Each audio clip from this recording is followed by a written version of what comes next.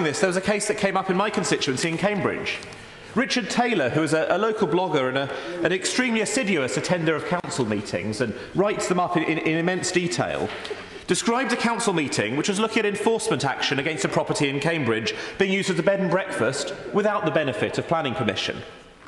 This has, led to a rather, this has led to a rather bizarre libel threat from an organisation known as WWFS Limited or UK Law Consultants Company, who, who say they're consultant solicitors. Now, the claim, I have to say, Mr Deputy Speaker, appears to me to be baseless, though I'm, I'm not an expert in this field, but especially since the people claiming refuse to say which part of his description they actually find defamatory. And they've similarly gone on to threaten other commentators with threats. Now, Mr Taylor writes on, on his blog, where all of this is there, if anybody would like to have a look at uh, rtaylor.co.uk, and he comments, and I think this should worry all of us. My view is that this kind of thing is one of the reasons people shy away from entering discussion of how we run our society, be it at the local level in Cambridge or more broadly.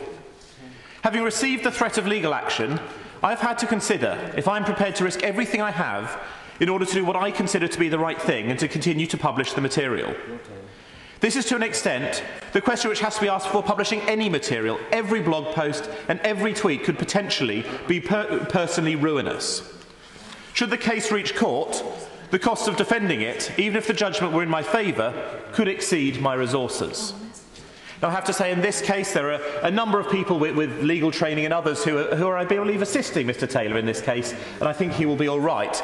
And he is also determined enough to get through this case.